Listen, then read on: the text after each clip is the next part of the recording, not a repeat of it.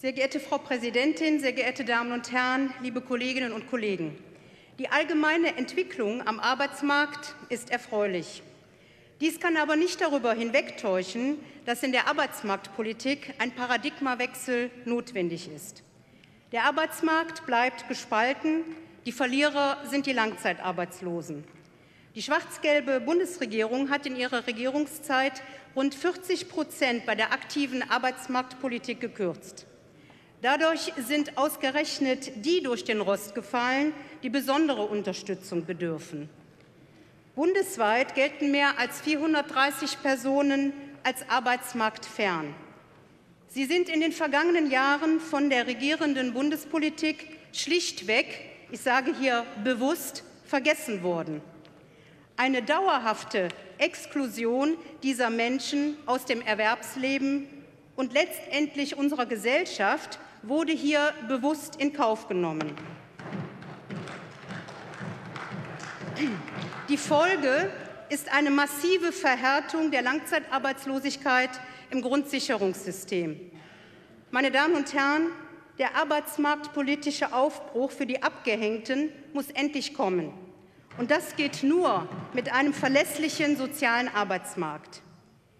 Hierdurch können Arbeitslose mit besonders schweren Problemen wieder Zugang zum Arbeitsmarkt finden, und zwar schrittweise, individuell und nachhaltig.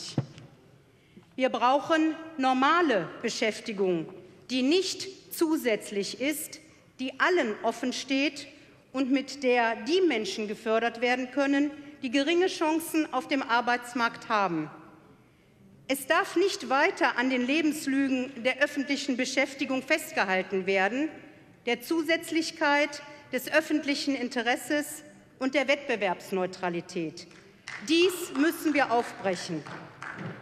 Wir brauchen letztendlich einen inklusiven Arbeitsmarkt, keine Versäulung und ausgeprägte Trennung behinderter Menschen und nicht behinderter langzeitarbeitsloser Menschen. Wir Grünen wollen einen sozialen Arbeitsmarkt als Baustein eines inklusiven Arbeitsmarktes schaffen.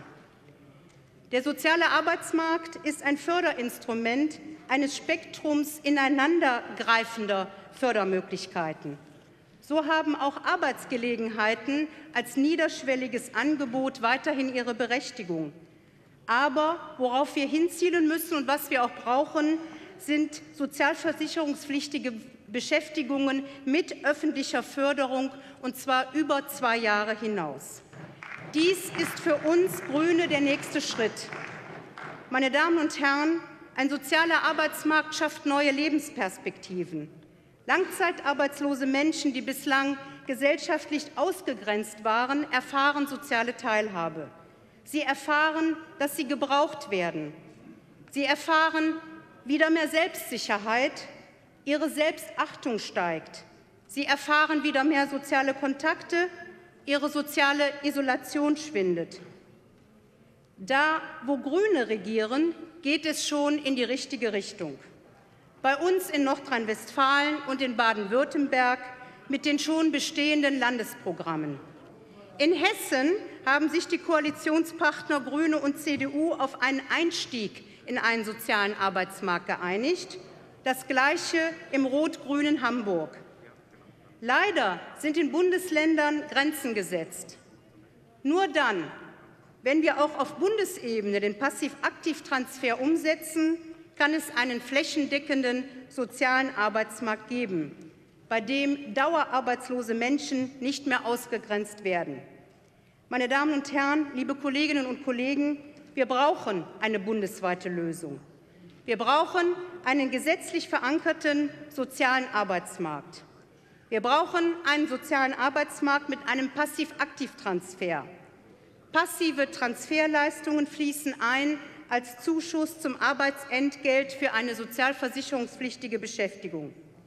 Wir brauchen einen sozialen Arbeitsmarkt, der frei ist von praxisuntauglichen Förderkriterien wie Zusätzlichkeit, Wettbewerbsneutralität und öffentlichem Interesse.